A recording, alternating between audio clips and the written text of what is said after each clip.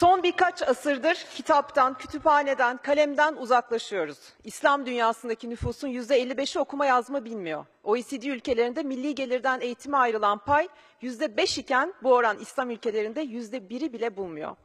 İslam dünyasındaki her toplum gibi biz de işin kolayına kaçıyor. Emek isteyen meselelerden uzak duruyoruz. Soran, sorgulayan bir nesil yerine geçici hevesler peşinde koşan bir nesil yetişiyor. Bu cümleler Cumhurbaşkanı Erdoğan'a ait.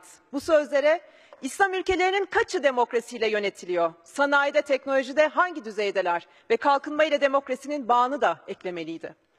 Bir taraftan bunları söyleyeceksiniz, diğer taraftan demokraside, eğitimde, bilimde, hukukta, sanatta güzel ülkemizi bu çağ dışı dünyaya sürüklemek için her türlü çabayı sarf edeceksiniz. Bu ifadeler AKP iktidarının neden tarihimizin yeni bir gerileme döneminde olduğunun açık itirafıdır. Başka söze gerek var mı?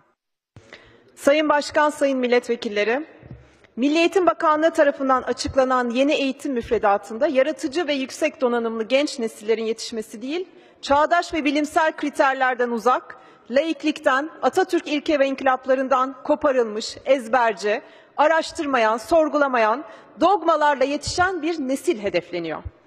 Yurtta barış, dünyada barış diyen bir atanın evlatlarına cihada ve cihatçıya övgü aşılama çabası bugünkü iktidarın zihin dünyasının tipik bir göstergesidir.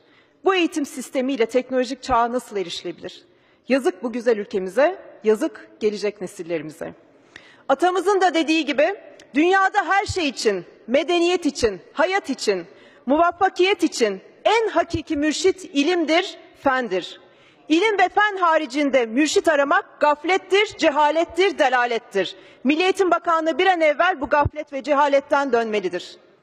İstanbul'un tarihi silüetinin AKP yönetiminde nasıl katledildiğini, yeşil alanların ranta nasıl kurban verildiğini mecliste birçok kez dile getirdim.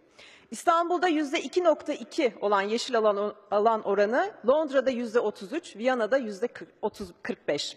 Yol kenarlarına çimen, çiçek ekerek bu gerçeği kamufle edemezsiniz.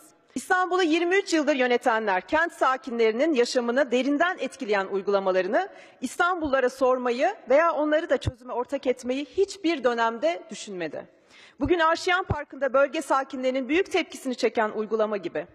Oysa İstanbulluların da görüşü alınarak sorunlara çözüm üretilseydi İstanbul'un tarihi silüeti ve yeşil alanları bugün ranta kurban verilmemiş olurdu.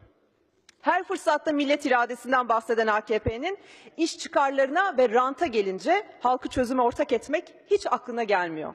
Halbuki katılımcı demokrasi gereği son söz İstanbulluların olmalıdır.